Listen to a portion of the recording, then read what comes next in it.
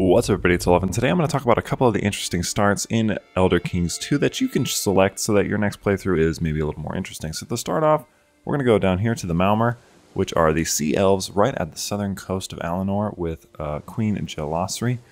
And this is a really interesting start because you're the Cult of Mehrunes Dagon. They're the only Sea Elves on the entire map. And you can decide to either come up here and invade, which is this is actually where another one of my interesting starts is, um, or you can become a vassal of Alinor and slowly take over from the inside. It's really cool. It's also incredibly unique because, like I said, they're the only Sea Elves on the map so far. Next, we have Grand Admiral Velehk of the Heartless Horde, and he's obviously interesting because he's a pirate Daedra. I believe you can meet him in Skyrim, and that's, of course, really cool, but if you, it takes a little while to get him going. Um, he admittedly gathers troops and gathers money really slowly, so that is something to consider. Uh, but if you can manage to take over this area from Duchess Fabril, I don't even know if that's her name every time. I feel like it changes. But if you can manage to do that and get this little kingdom, then you can be well on your way to taking over either this region over here or maybe starting to go up this coast. But being a pirate, you have a lot of access to raids, a lot of small kingdoms to start off with to raid, which is the same benefit um, down here with the Sea Vipers is that they're raiders. So you basically are just going to raid, raid, raid, raid, raid, raid your heart away uh, for as long as you can. Next up, moving up north, we have the Direnni line of these High Elves that live here in the Emerald Tower in High Rock, or what can eventually be Balfiera. Um, this is a really cool start because they're incredibly powerful, they're really long-lived, and they're just an interesting family. Um, they have a really rich history in this area, and it's something a little different than just playing as a human up in High Rock.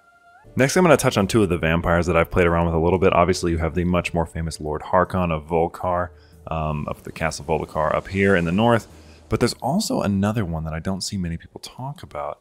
And that is actually, now I have to find him again because he's even really small. Here we go. Chieftain Trenlor of Reachland. And I thought it would be really interesting, as you can see by his eyes, to take over this Reach as a vampire lord. That maybe isn't the Harkons, because I think that they have a little bit better start um, and a little more options to start off with. But, you know, vampires, they're not fully implemented. There's not a ton that you can do but it is still a cool and interesting way to get your foot in the door with a something a little different. Um, speaking of something a little different, though, uh, couldn't be more different than Lord Mannimarco, the King of Worms, who is a necromancer and one of the more famous necromancers in the game.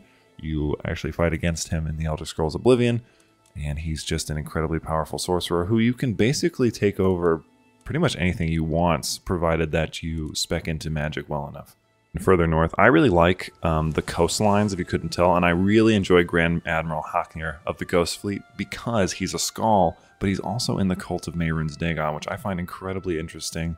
And so what I normally do, if I play as this, is I go over here and I take over Solstheim for the most part, and then I usually, which is, this might sound a little weird, I usually actually take over most of these little islands, if I can, if they're not connected to one of these.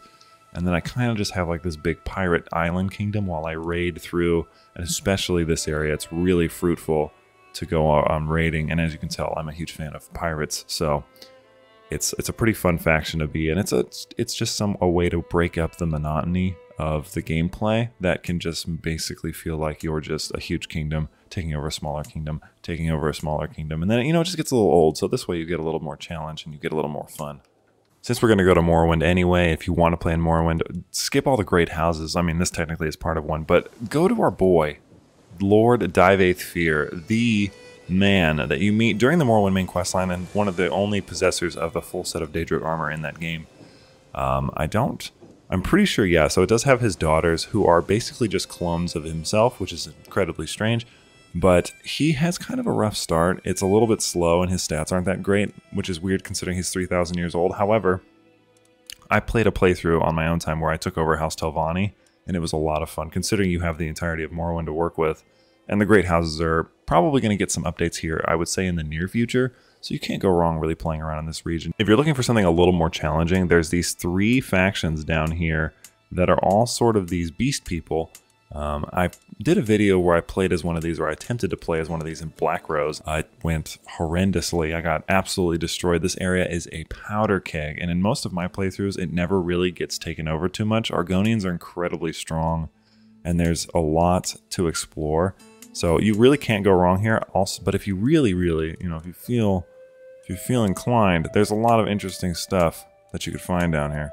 Specifically, I was trying to look for this lady the old queen Um, so she is the remnants of the original rulers of Cyrodiil. She's one of the last Ayleids, so if you wanted to retake over, you know, Cyrodiil as an Ayleid queen, you can do that with her. And a lot of people seem to really enjoy that. Definitely recommend avoiding Elsweyr because if you do manage to be the Mane, um, they don't live very long, um, maybe like to 60 or 70, and they usually end up dying fairly young.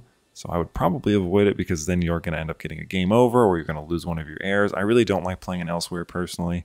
Um, the Wood Elves are pretty much one of the least interesting in my experience. There really nothing crazy ever happens down here, and you don't get a lot of pressure from anywhere else, so it's not very difficult.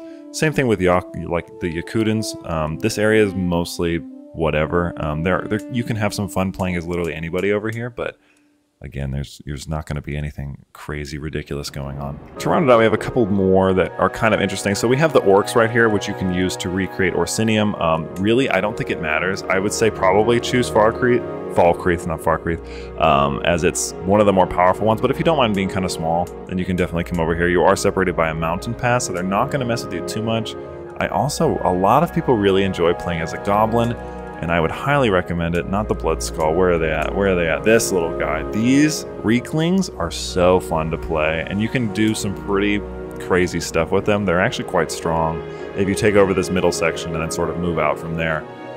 Um, but that's going to be it for this one. If you did want to play something more normal, like in Cyrodiil, I would recommend Anvil. I've done a really fun playthrough of that myself, and it can be quite strong.